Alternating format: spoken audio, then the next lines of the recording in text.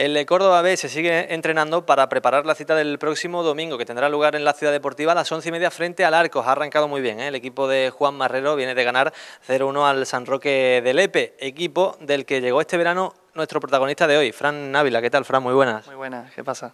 Bueno, gran victoria, ¿no? 0-1, liderato, imagino que mejor imposible. Sí, la verdad es que con un sabor de boca buenísimo, la verdad es que estamos trabajando para eso, estamos toda la semana, somos pocos, pero los pocos que habemos vamos a muerte y, y estupendo, vamos.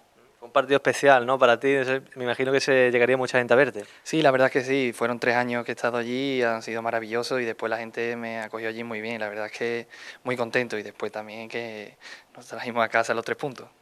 Os estáis sobreponiendo a todo, ¿eh? Fran, lo decíamos durante la semana, lo decía el míster, ¿no? Muchas lesiones, muchos inconvenientes y ahí está el equipo líder. Sí, la verdad es que, hombre, en un equipo suelen haber las lesiones, las tarjetas y nosotros sobrepasamos eso y a la vez nosotros jugamos y nos dedicamos a jugar en el verde. Pero ¿cómo highlight de, de todo eso? No sé si es complicado en el día a día o qué os dice Marrero para ese tipo de cosas. Nada, la verdad el míster estupendo, nos, nos, motiva día a día y, y, después tenemos que las adversidades sacarlas poco a poco como podemos y después lo que estamos demostrando en el verde, que estamos, que no salimos.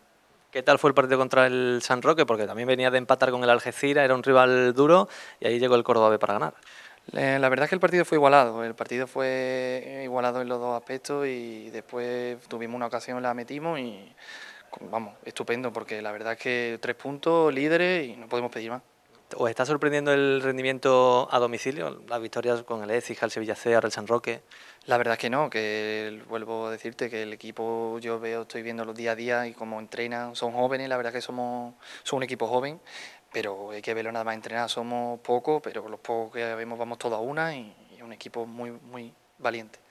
Arcos, próximo partido en la ciudad deportiva, no sé qué, qué, esperáis, qué os ha dicho ya el míster. Pues la verdad que no ha dicho poco porque mañana lo tenemos que analizar, pero lo poco que, que sabemos es un equipo que, que, es duro, que es intenso, que tiene buenos jugadores, como la verdad es que todo la tercera está complicado todos los partidos y nada, nosotros jugamos nuestro juego e intentar sacar los tres puntos.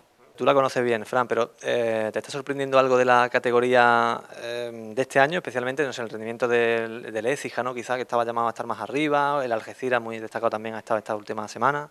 Bueno, la verdad que, que lo del Écija yo creo que hay que darle tiempo, yo creo que al fin y al cabo va a estar entre los cuatro primeros, creo, y después las Algeciras, Betty, eso son filial, el filial y Algeciras son equipos que deben de estar arriba, Ceuta, yo creo que va a ser una liga muy complicada y muchas jornadas, y nosotros, yo lo digo por nosotros, espero estar lo más arriba que podamos.